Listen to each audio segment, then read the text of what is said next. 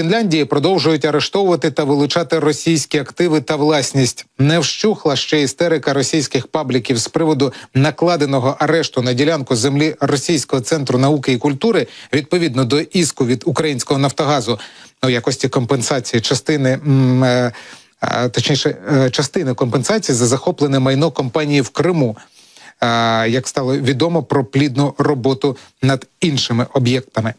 А влада Фінляндії, крім іншого, наклала арешт на ділянку пляжу, що належить російській державі, яка використовувалася для відпочинку дипломатів. Про це повідомляє місцева телерадіокомпанія Іль. Згідно з земельним кадастром, ця ділянка у Хегебселі на півдні Фінляндії. Об'єкт складається із 17 гектарів землі та 3,5 гектарів морських акваторій. Судовий пристав наклав арешт на нього 24 жовтня. Йдеться у повідомленні. Ще одна ділянка, яку перевірила ЄЛь, розташована у Сіунтіо. Е, Її площа становить близько 8 тисяч квадратних метрів, тобто 80 соток. У 1973 році землю придбало комерційне представництво радянського союзу. За даними газети Гельсінкі Саномат, фінський уряд також наклав арешт на вже згаданий російський центр науки і культури в Гельсінкі і ще щонайменше чотири інші об'єкти нерухомості на Аланських островах, що належать росіянам, у тому числі на житловий будинок. Ну, зрозуміло, що не острови належать росіянам, а ділянки. Напевне, варто с- нагадати, що напередодні суд у Фінляндії наклав арешт на низку російських активів в Україні е, за позовом української компанії Нафтогаз.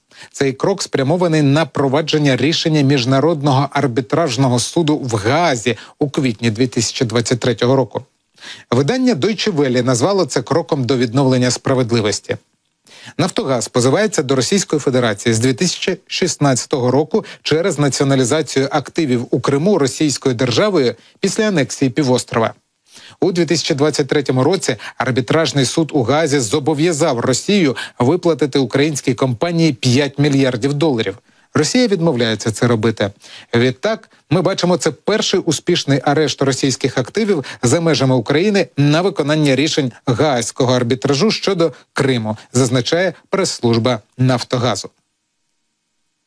Оскільки Росія відмовляється добровільно платити Нафтогазу кошти, передбачені гаазьким рішенням, ми продовжуємо використовувати всі доступні механізми для їх стягнення.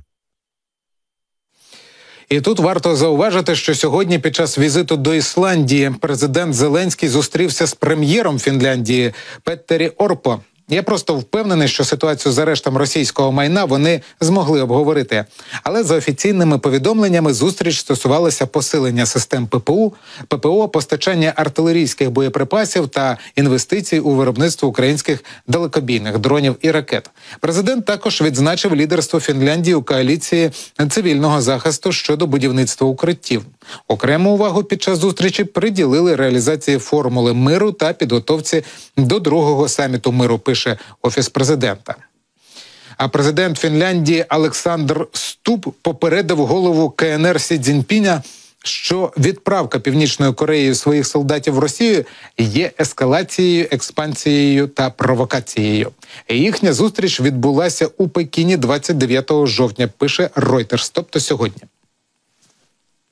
Я доніс до лідера КНР, що діяльність Північної Кореї, як щодо експорту зброї, так і відправки військ до Росії, є ескалацією, експансією та провокацією.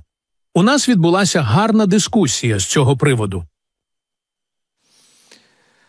Президент Фінляндії виступав від імені НАТО та ЄС, попередньо узгодивши позицію з союзниками. Він застеріг китайського лідера, що подальша підтримка Російської Федерації матиме негативні наслідки для взаємин між Пекіном та Брюсселем.